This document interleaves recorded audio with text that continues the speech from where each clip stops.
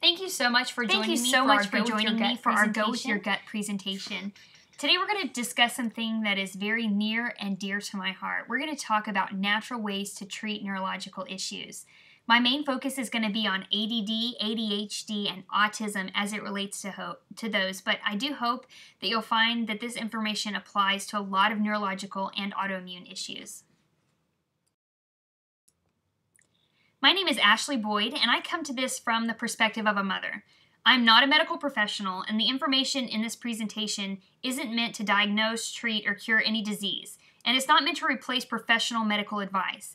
I simply want to share the knowledge and experiences that I've had over the last five years um, as we've dealt with my son's struggle with ADHD. It's basically just a compilation of everything that we have learned through our experiences, through extensive research, through the guidance of doctors, through medical testing, and through a great deal of prayer.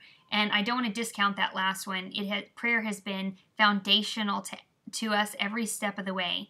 I also want to say that no one thing has been a fix all for our son. It's really been like putting pieces of a puzzle together.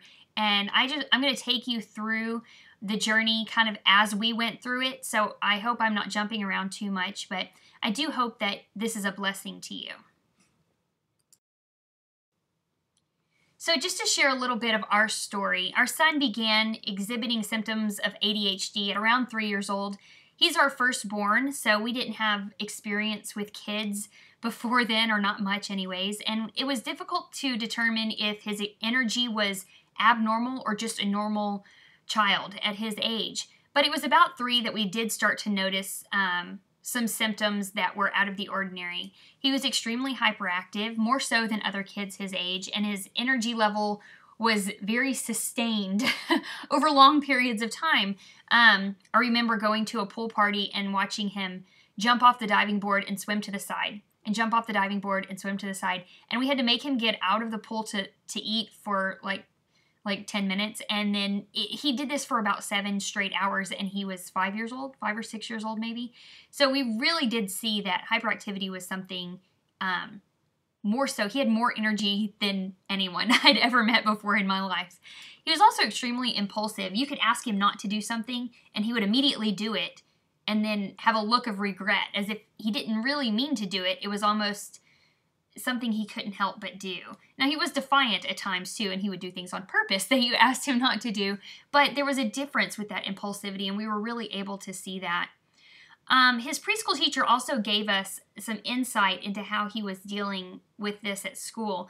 He tended to be overstimulated during transitions. She said that anytime the class were, was going to line up to go outside or to go to the gym, he would end up in timeout. He just couldn't control himself in that kind of energetic environment.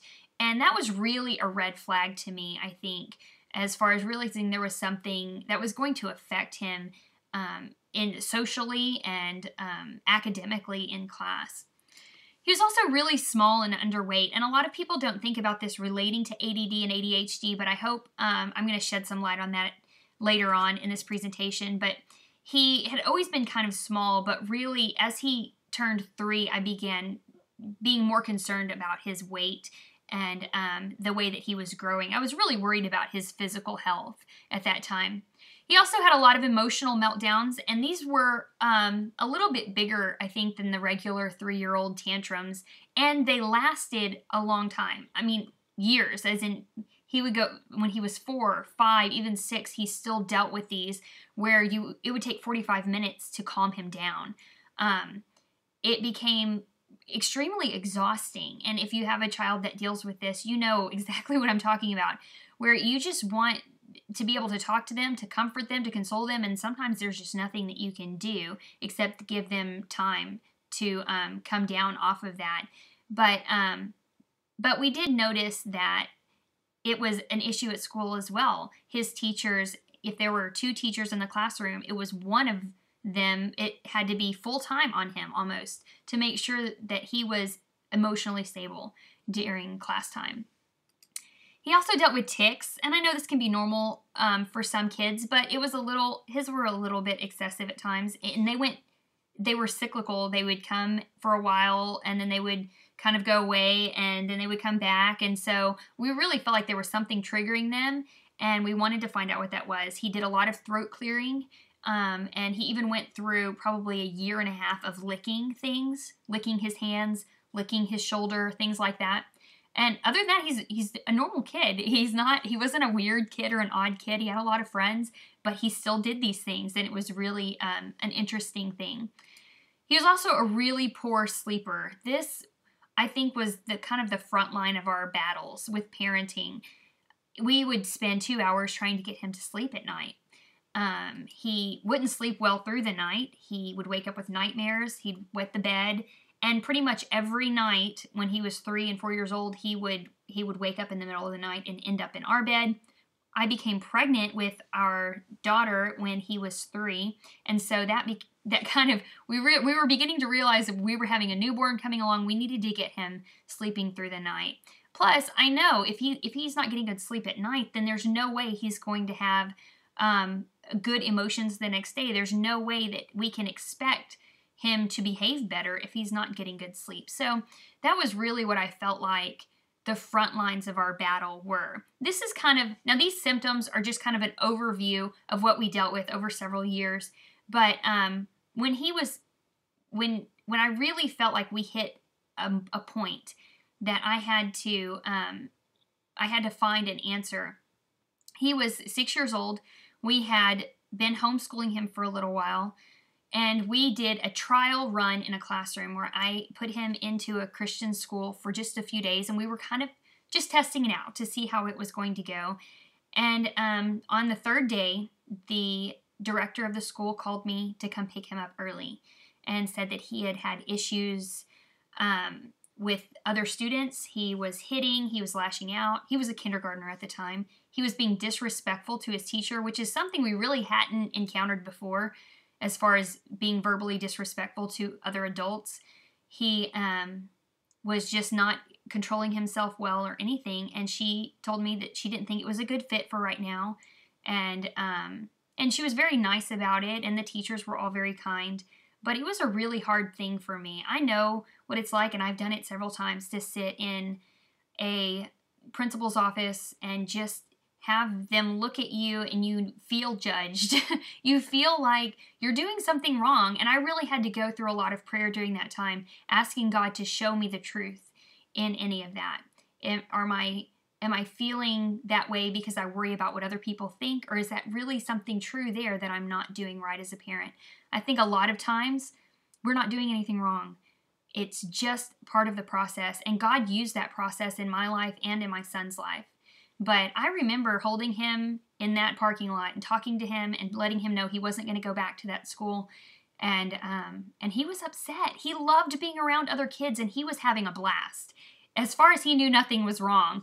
And um, and he was upset. He he cried and I cried. And it's just one of those moments where you go, I just want my kid to be able to function in society and have friends and be with other kids. So you get to that point where you're really desperate to find answers. Um, the pressure that I felt from the schools to find an answer did lead me to research what modern medicine had to offer. I knew that I could very easily get a diagnosis of ADHD. I had letters from at least three teachers that would verify the issues that he had. I had sat in doctors' offices where doctors said, "Oh yeah, you could you could get a diagnosis." But the only purpose for a diagnosis is to get prescriptions for pharmaceutical drugs. And so I wanted to make sure that it was really a process that was even worth going through for us. So I began to do my research and I realized that stimulant drugs are what it, what would most likely be um, prescribed to my son.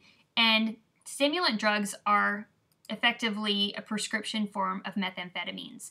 Um, if you're not familiar with methamphetamines and what that street drug is like, it's it's pretty um, it's pretty awful, and um, and it has long term health health effects. It damages your teeth, it damages your liver, damages your kidneys, it um, messes majorly with your immune system and things like that. But the the prescription version is much less, of course. Um, it's not necessarily the amount that people are taking out on the street, but still, this is um, this is a drug that we're giving to our kids. And so I needed to learn a little bit more about it, about side effects and things like that. So when I looked into side effects, I realized that a lot of the side effects poor appetite, weight loss, poor growth, sleep problems, irritability, tics these things are are issues we're already dealing with. So I'm going to give him a drug that is that is a you know the same as speed or methamphetamines, and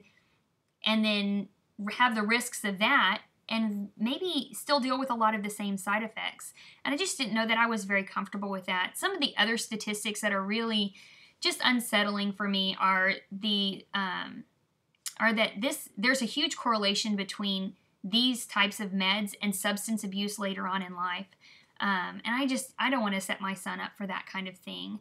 We're looking into growing a um, a young man that God has great plans for. So I just wanted to make sure this was going to be part of God's plan for him, and I didn't feel like it was. I also saw that this was going to lead to eventual growth hormones because um, because he was going to continue to lose weight and grow poorly, and so I I could see kind of the cause and effect that would happen here. And then it was going to be a lifetime of prescription meds to function. And um, I've seen a lot of people that I know personally who have who have done this throughout their life, throughout their childhood, and I've not met anyone that it has helped significantly enough for me to weigh the risks. And that was that was kind of the conclusion that we came to for our family that it just I believe that there is a time and place for modern medicine. I'm not anti-doctors at all, but I just didn't feel like and through prayer we we felt like modern medicine was not going to be a part of our solution. What I did begin learning in this research process is how to be an advocate for my child. I learned to advocate to him, to God, first off, and I don't think I've ever prayed so diligently for anything in my life as I have over my son and constantly seeking direction for what steps we needed to take for him. The truth is is that God is the only one that cares more for your child and knows him better than you. So advocating to God is just number 1 there. But here on earth, no one cares more about your child and knows your situation better than you. So you have to remember that. But I did learn to advocate for my child educationally. I talked about sitting in principals' offices and things like that. But and the pressure of the educational system is to find a quick solution. Um, because of that, we chose to homeschool him for a few years. But once he was back in school, I'm I was upfront with his teachers at the beginning of the year, saying these are the issues we deal with, and here's what the steps that we've taken. And I tell them not to be afraid to email me if he seems unusually energetic or unusually calm because we want to know if what we're doing is working well or if something is is setting him off, you know, the wrong direction. And we're always trying different things and teachers can really give you some great insight into what is and isn't working for your child. So it's so important to build a he- healthy relationship with your your child's teacher if they're in a public school and or private school and thankfully, we've been so blessed with teachers, just wonderful teachers for our son, teachers that loved him, even when he was really, really difficult to have in class. And they cared about his future and they, they, were very understanding and loving of him. And I think that makes the whole thing so much easier to deal with as a parent.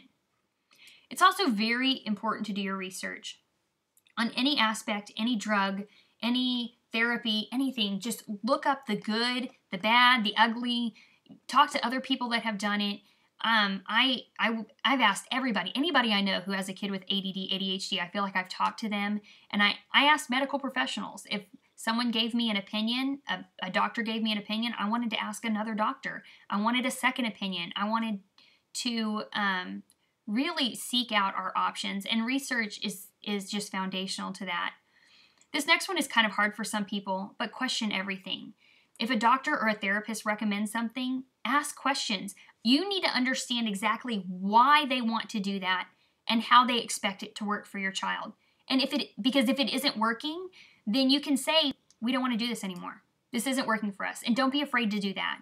You know your child better than anyone else, and your mommy gut is extremely important. So go with it. Don't be afraid to say, this isn't for us. This isn't what we want to do.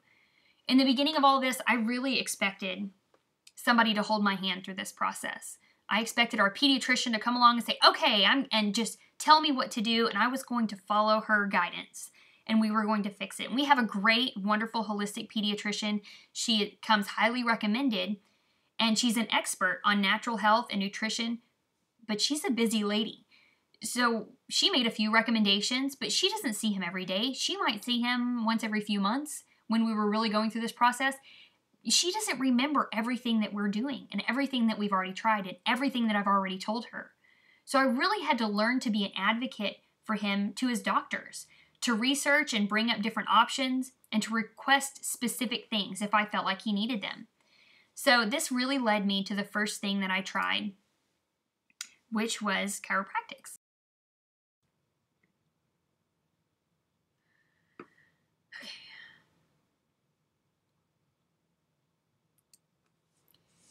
Chiropractors are a wealth of knowledge and, and, information on nutrition and how the body works. There are kind of two branches of chiropractics. There are the sports medicine chiropractors who deal more with injuries and things like that. And then there are the wellness chiropractors. They are holistic healthcare providers, and those are the kind of chiropractors that I'm talking about here. My first experience with chiropractics is when I was pregnant with my daughter. My midwife required me to see a chiropractor regularly throughout my entire pregnancy.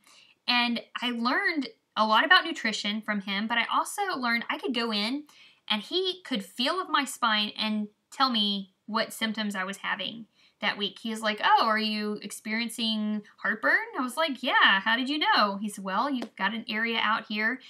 And what I learned is that nerves are the communication highways of our body. If you look at the little chart here, you can see kind of in the spine where the nerves are kind of branch out to different organs and systems in our body. So if we have uh, pressure from our spine in any or subluxations in any of of those areas, it puts pressure on those nerves and it can disrupt the communication to our brain or from our brain to those areas. So, if I had an area out around my esophagus and and things like that that contain those nerves, then I might deal with more heartburn that month. And so that was really, really enlightening to me. And I loved chiropractics. I fell in love with them at that time. So I decided to give this a try for our son. He was four years old when we first took him. And yes, there are chiropractors that, that deal with kids of all ages, including newborns. Our family chiropractor now does. And um, and it's really interesting to see them work and see them explain to you how the body works when we first took our son, he had some areas off in the top of his spine that were right at the base of his brainstem. And what I learned was having subluxations in that area can make a huge impact on emotion, on energy levels, on on all on nightmares and things like that that he was dealing with at night. He also had a lot jumbled up kind of down at the bottom, the base of his spine. And that was an area that is going to deal with his bladder and his digestive system. So our chiropractor said he could just not be getting that signal strong enough to his brain to wake him up at night to go to the bathroom. So what we found was chiropractics within a month of doing chiropractics, he was sleeping through the night. Literally, like every night, sleeping through the night. And it also became easier to get him to go to sleep. Instead of a two hour battle, it was now a 30 minute battle, which was really huge for us. So that was kind of the first big step for us. And something else that I learned, I think that it was just God that we did this first because it really paved the way. Getting his spine aligned and making sure there was proper communication in his nervous system is is what he needed for healing, growing, detoxing, digestion, for uh, for anything that we were going to try later on to be more successful, we needed his spine to be right and aligned. Occupational and brain therapies are a huge thing right now for kids with ADD and ADHD and autism and any other neurological issues. And what they are intended to do is stimulate the areas of the brain that aren't as active. Um, a lot of these kids have inactive areas or areas that aren't as active, and they and there's belief that and evidence to prove that that's what causes um, a lot of their issues. So the the specific therapy that we did was called interactive metronome therapy and it had to do with he had to clap a lot to certain beats and certain rhythms um, play games and do things on the beat and rhythm and the idea was to kind of get that internal pacing down and really waken up wake awaken those areas of the brain. Brain balance therapies work in a similar way to to activate right brain or left brain and doing different things at different times. Electrotherapy stimulation does the same thing. Neuromapping and neurofeedback actually take a map of the brain to show you which areas are energized and which areas aren't um, aren't as active. Memory training and sensory motor activities, all of these work in a similar way. I will tell you that interactive metronome therapy worked uh, to help our son with impulsivity. I think it helped him some with emotional control, but it wasn't an answer for everything. Um, that that chiropractor there also wanted him to do amino acid supplementation, which I'm going to talk about right. So, one of the things that I learned at the therapy sessions is how the brain works. The brain uses amino acids to create neurotransmitters, and these transmitters carry information. So, basically, they're how the brain communicates with itself. Receptors take in the neurotransmitters. So, we have amino acids, they create neurotransmitters, and then we have receptors that take in this information, process the information. But these receptors can be clogged or broken down by toxins. So the therapies work to create new neurological pathways or synapses for the neurotransmitters. The more a synapse is used, the stronger that pathway becomes. So this is how we build and break habits just naturally as humans. But the brain therapies are a great way to guide our kids to build those new habits. Now, what his chiropractor wanted us to do was do amino acid supplementation. Because he had certain receptors that weren't effectively working, he wanted to increase the neurotransmitters in our son's brain through by giving him a bunch of amino acids. Well, our son was five years old at the time, and he was taking about 15 capsules a day of amino acid supplementation. That was a challenge, to say the least. Um, not only that, but because he was so young and would progress so quickly, the levels of amino acid had to be adjusted constantly. And we found ourselves on a roller coaster that was worse than anything else we had dealt with prior. So I talked to his chiropractor and I said, What, you know, is this, are the amino acids making it more effective? And he said, No. The only thing the amino acids are doing is kind of bridging the gap from where we are now to where we want to be. The amino acids can kind of give us those extra neurotransmitters until those those receptors are healed and new synapses are are built and created. So I requested and advocated for my son that we stop the amino acid supplementation. I would rather see him steadily grow and go up than to go up and down and up and down and never know what to expect. And so for us that was something that we we really prayed about and I think it was a good decision for us. But learning about that was foundational for some of the other things that I was going to learn later on. Um, just about neurological pathways and amino acids and things like that. It was about this time that we also began um, making some basic dietary changes. Uh, our son was about six when we were kind of going through this, and he had gained about three pounds over the last two years. And I was really getting more concerned about his growth. So it was about this time I, I decided that we were going to really make some diet changes. I started to read the ingredients and everything, and um, what we decided to eliminate were things like high fructose corn syrup, which is linked to a lot of issues, including hyperactivity. Artificial colors, red dye 40, yellow 5, a lot of those are linked to hyperactivity. Artificial flavors, artificial sweeteners like Splenda and um, Sweet and Low, things like that. They are actually they are actually going to clear out your good bowel flora, which we'll talk about more in a minute and they're going to create an acidic environment. Artificial sweeteners are awful, awful. Do not let your kids have artificial sweeteners and limit sugar. So this was kind of the first thing that we we tried was just to start paying more attention to this kind of stuff. And these are changes that almost any pediatrician, and not even a holistic pediatrician, would recommend for a child with ADHD.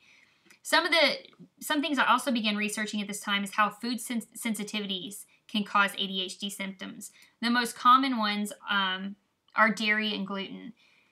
The idea at this time of cutting those was really daunting to me, um, especially since I didn't have any guarantee that it would help. I didn't know for sure if my son was sensitive to dairy or gluten. So, what I did was I decided to make the switch to raw milk and we did organic sprouted greens whenever possible. Um, so, th- those were kind of some of the first changes that we made. A book that really helped me along in this process of the, these first few changes is called Special Needs Kids Eat Right by Judy Converse. I'll have all of these books that I talk about listed at the end as well. But this book recommended three lab tests that would really give an overview of your child's nutritional needs.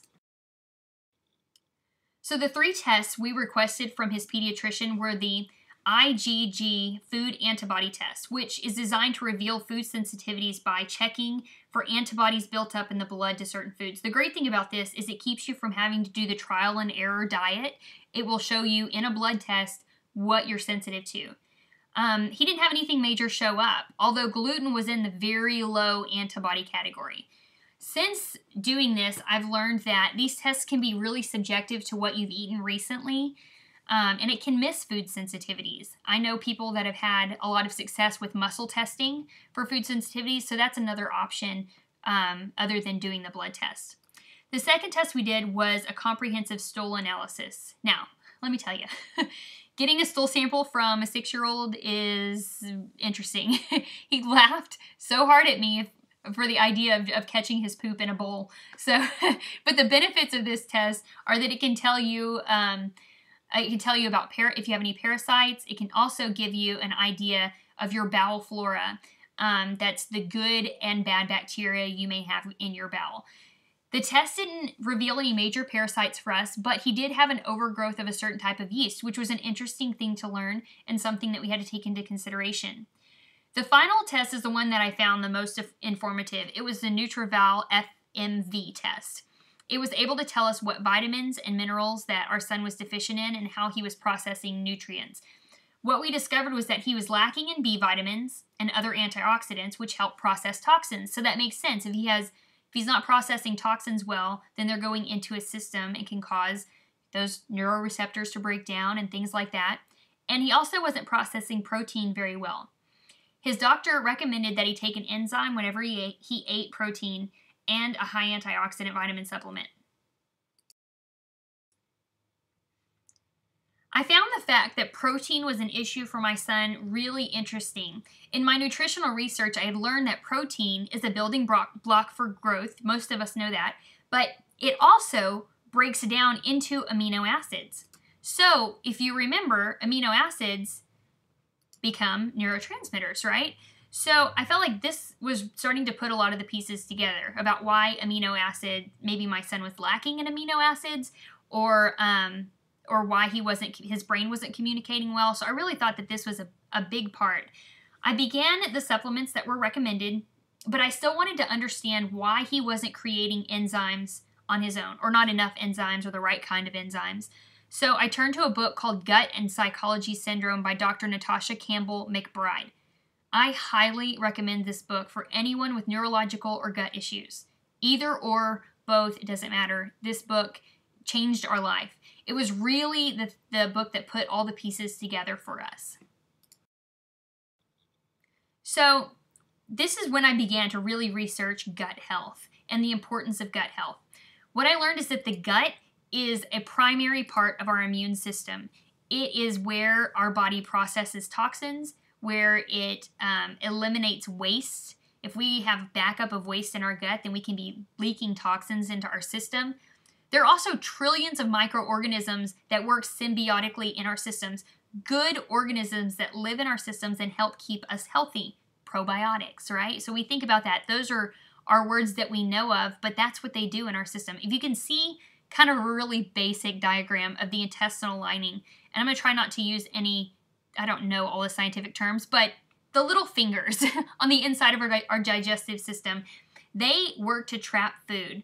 And if you can see the digestive food inside your intestine, the toxins are going through and the nutrients go in through our our um, intestinal lining. So that's the idea. That's how our intestines are supposed to work. They clear the toxins out and they take the nutrients in. Are these little guys. They're enterocytes. And aren't they cute? I love this little graphic. But basically, these enterocytes sit on, you know in rows along those little fingers of our digestive system and they on their hairs catch digestive enzymes now if our health if our enterocytes are sick and not doing well then you can see their hair is kind of thin and weak and all of that stuff and i just love that graphic for explaining that but what happens here's another scientific um, but what happens with that is when those enterocytes aren't working well or they're missing, then those finger areas of our digestive system can become broken down, they can become inflamed.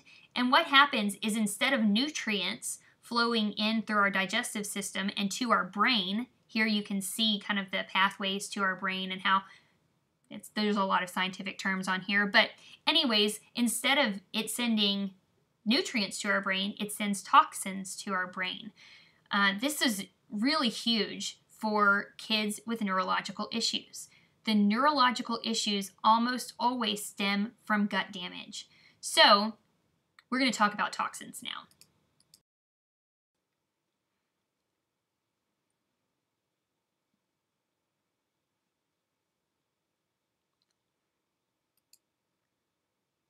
Okay, so toxins, what are they and what does that really mean? What toxins are? Is there anything in our system that creates free radicals. And these free radicals can damage our systems. A lot of times we hear free radicals in a correlation to cancer and things like that. They can do that too, but they can also just clog your neuroreceptors and break them down. They can damage your gut. Um, and the problem is, is that toxins are everywhere. They're in our food, they're in our cleaning products, they're in cosmetics, they're in medications. And when I really kind of got to this conclusion, okay, my son is not processing toxins well, and they're everywhere. So what can I do? I began making my own cleaning products. I began um, researching different things that were in our medications and stopped using over the counter medications as much as possible. This is where I really became more interested in essential oils and how to use those instead to replace the toxic things that I was using in my household. Um, food, I began to buy organic whenever possible. Okay, so how does all of this cause gut damage? Well, if we want to talk about medications first, antibiotics are huge here.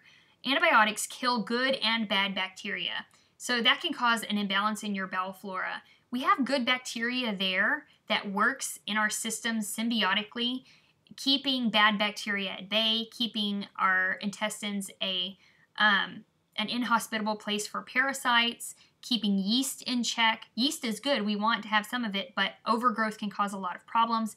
So, having good bacteria in our system is extremely important to our health. But what happens is when we get bad bacteria in, it um, it makes us sick or whatever. We take antibiotics, it kills the good and bad bacteria, and then we have a system that is more hospitable to more bad bacteria. So, probiotics are extremely important to take anytime you take antibiotics. And I didn't know this when my son was young. He was on several rounds of antibiotics early on, very early on in his life. He had a lot of ear infections um, in his first two years of life. And I think a lot of that ha- probably had to do with some of the issues we deal with now. Vaccines can also cause gastrointestinal damage. I am I am not anti-vaccines. I believe that it's important for you to do your research and decide what is best for your family. There are risks to vaccinating and there are risks to not vaccinating. So that's something that is between you and God and your family.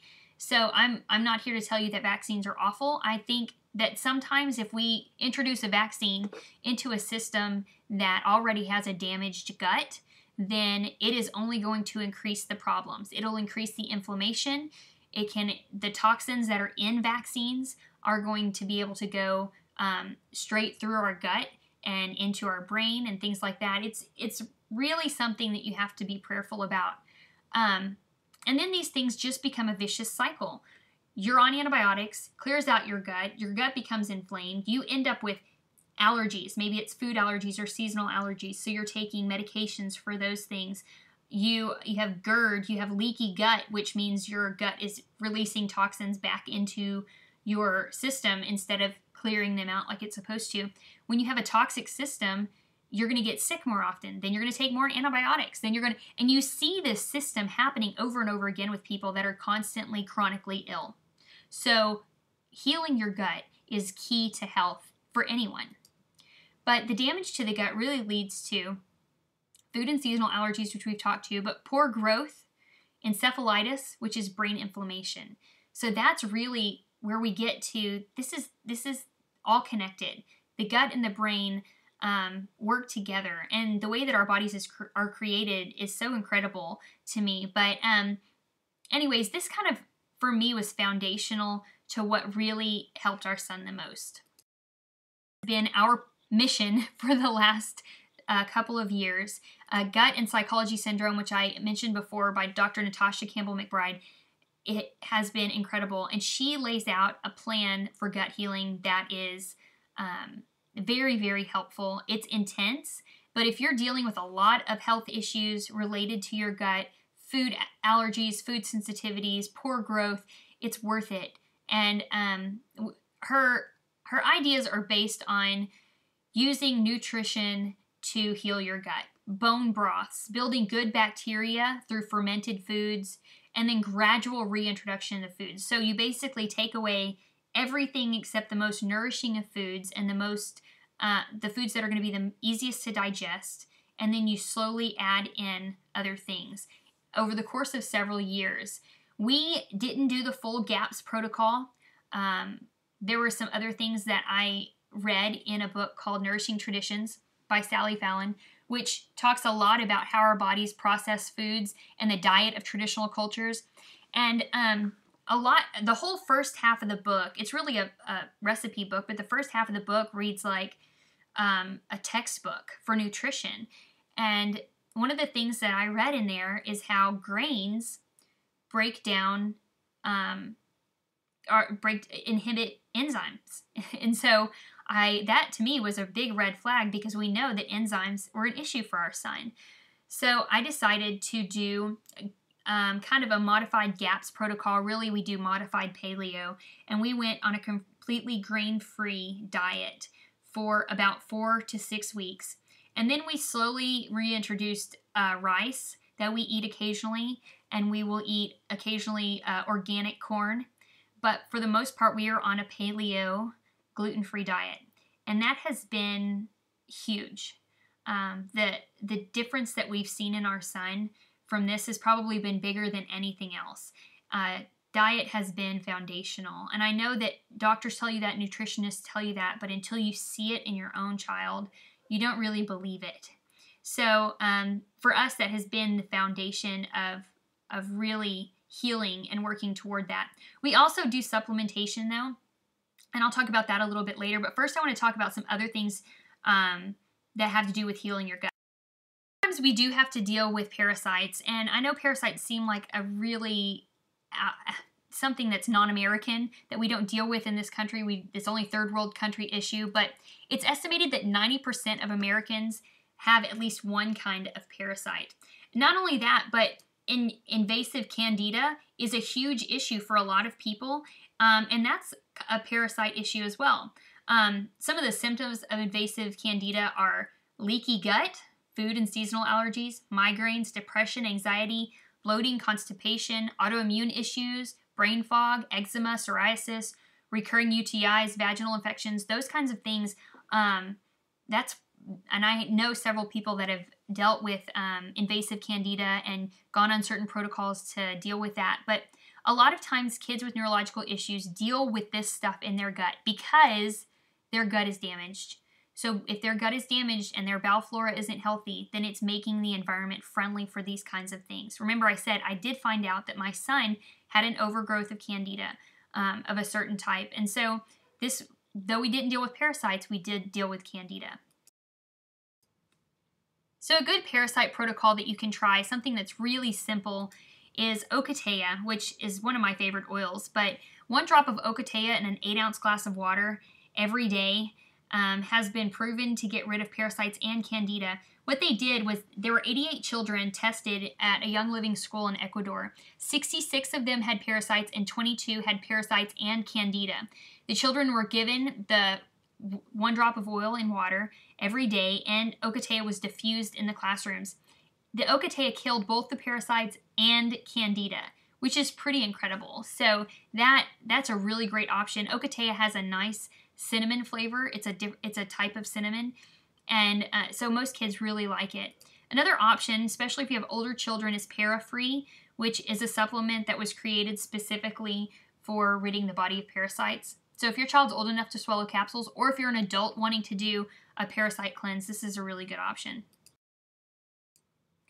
So there are several supplements that we do daily, and I want to talk about the ones that work for us and that we do and why we do them. The first one that we do is a magnesium supplement supplement called Natural Calm. Um, that's the brand that we use. I'm sure there are other great options for magnesium supplementation. Um, the reason why we started this and the first thing that tipped me off to magnesium deficiency is I read somewhere about magnesium deficiency being a cause of extended morning sickness in pregnancy. Well, I spent the first seven months of both of my pregnancies very sick. I had morning sickness, night sickness, afternoon sickness, and lost, you know, my first trimester, I think I lost about 15 pounds both times. And then I gained all my weight for both of my pregnancies in the last two months because I was finally able to eat something. Um, so when I read that information, I kind of just stored it at the back of my mind and thought, oh, well, if we have another one, I'll remember to supplement with magnesium. That's probably an issue that I have. And of course, as God does, He starts to bring up other things that are talking about magnesium. And I began to read a lot about magnesium, what magnesium deficiency looks like. And one of the things that I learned is that magnesium is key to enzyme production. Now, we did the full nutritional testing on our son, and magnesium didn't show up to be deficient. He didn't show up to be deficient in magnesium, but only 1% of magnesium is in the blood. So if he, he could very well be deficient and it wouldn't show up in a blood in a, in a blood sample. So some of the symptoms of magnesium deficiency are muscle cramps, anxiety, insomnia, hyperactivity, high blood pressure, brain fog, kidney stones, osteoporosis. Because in case you don't know, magnesium and calcium work together. You, if you take calcium without magnesium, it is not absorbing into your system. You need to always take calcium and magnesium together. Epilepsy, MS, migraines.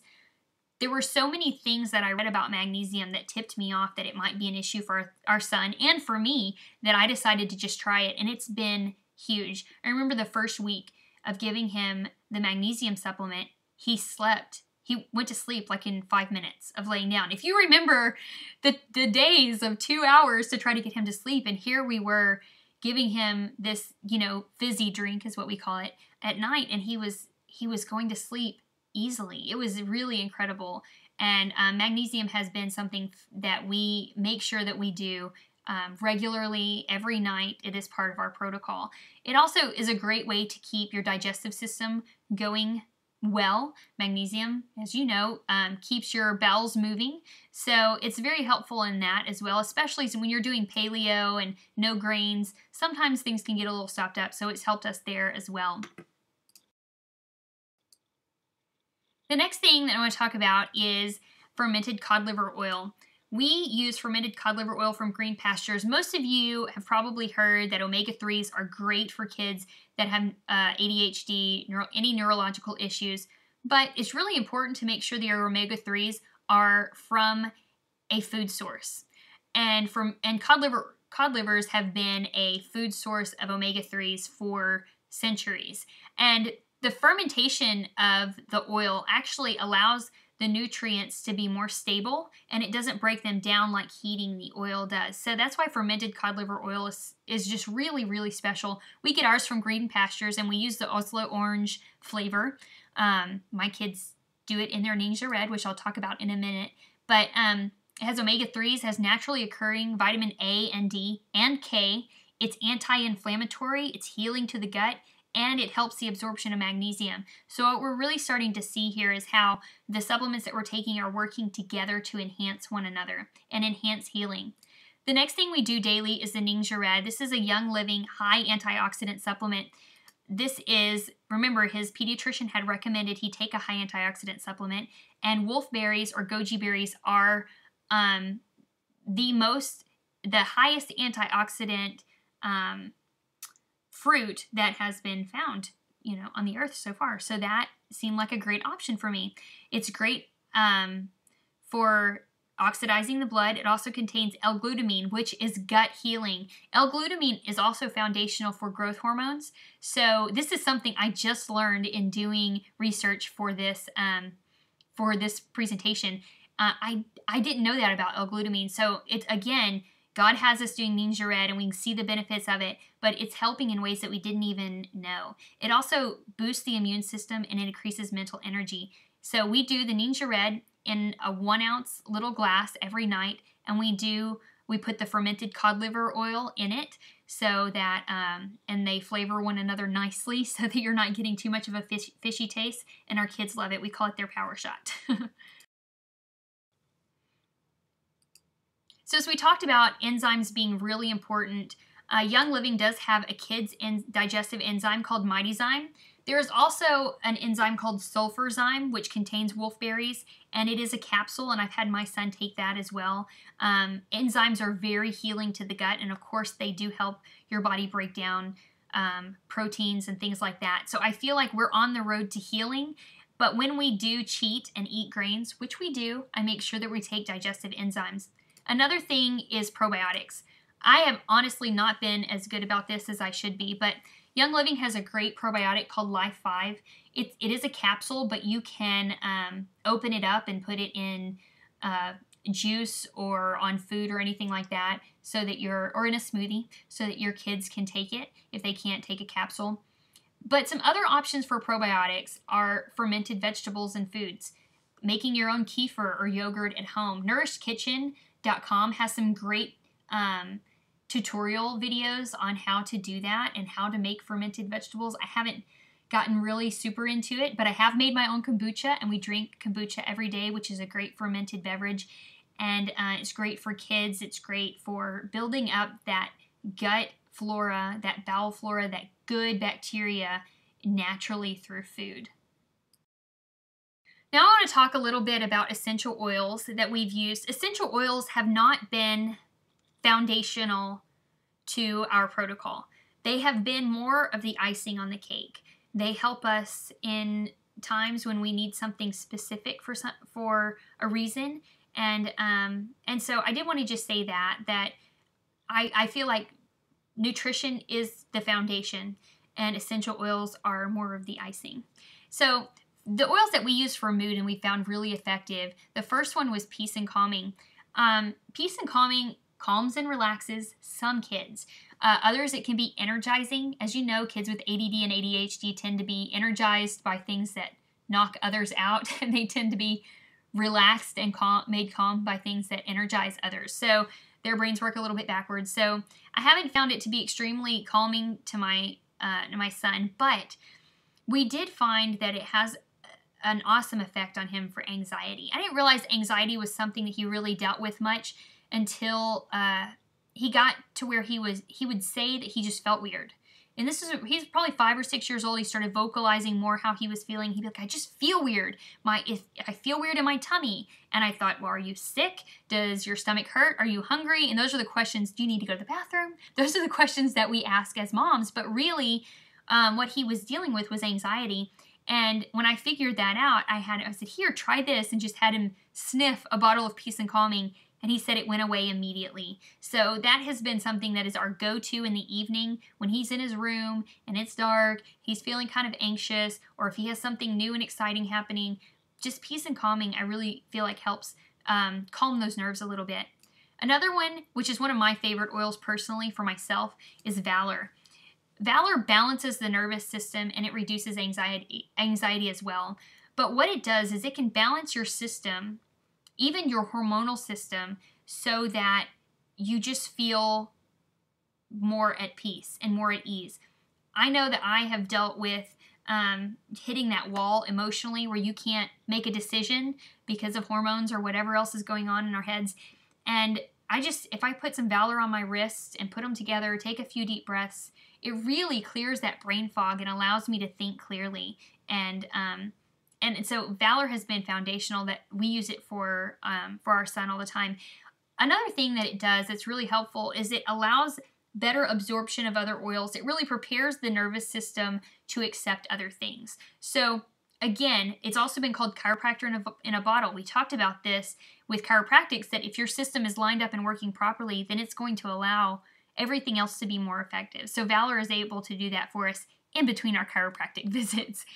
Um, lavender has been another thing. It's great for relaxing, awesome for sleep. We use it um, on our son at night to help him sleep better and stay asleep. And it's just been a really great one overall. We love it for allergies and things like that too. Um, this is kind of where we really get in more into healing the brain. Once we have taken care of the gut and the toxins going into our brain and into our system, then we can start to think about um, healing the brain and healing the inflammation there.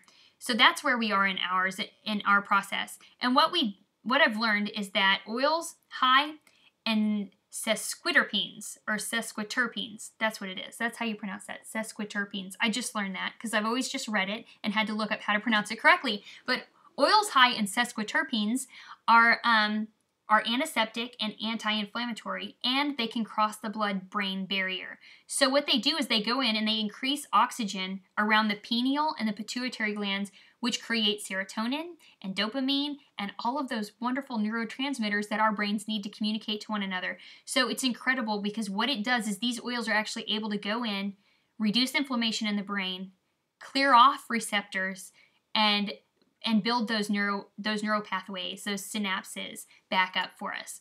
Frankincense is one of these oils that are high in sesquiterpenes. Cedarwood, Copaiba is awesome for inflammation. It's one of my favorite oils. It's one that I um, add to our mix um, every day, and it is the it is the one that is known for clearing off those toxic residues on receptor sites. Cedarwood can clear off um, cal- calcification over the pituitary gland. Vetiver is well known for its help with focus and mental energy um, and ADHD, so and ADD. Two others that I haven't used personally, but I know other people have had great success with are sandalwood and German chamomile. So those might be great options for you as well. Our blend looks like this. I've taken copaiba, cedarwood, vetiver, added a, a tad bit of coconut oil, put it in a roller bottle, and my son applies Valor to his brainstem and to his wrists, takes a few deep breaths, and then he rolls that um, mixture onto the back of his neck every day. And we really, when he's on top of this and he has his supplements, and we really have seen such a huge, huge improvement. So, the books that I've talked about, um, you can see this is Special Needs Kids Eat Right by Judy Converse. Um, Gut and Psychology Syndrome by Dr. Natasha Campbell McBride, Nourishing Tradi- Traditions by Sally Fallon, and then the Essential Oils Desk Reference really gives a lot of insight into different oils and supplements and how they work in our system. So, just to talk a little bit about where we are now, there's my family.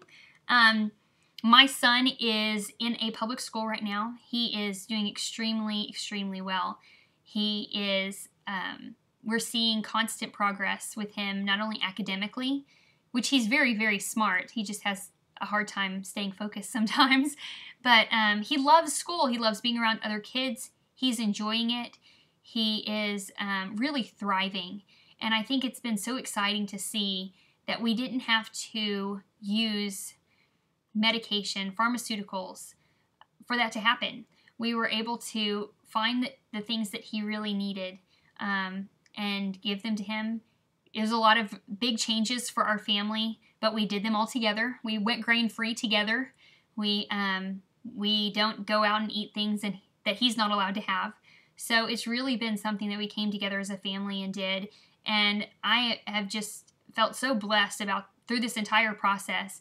And I hope that you've been blessed by me sharing my story. So thank you so much for joining me for this. I do hope to continue to have continuing education videos uh, over the next few months and years, but you can check us out on Facebook at Anointed Living for Life, or you can check me out online at www.anointedliving.net. Thanks.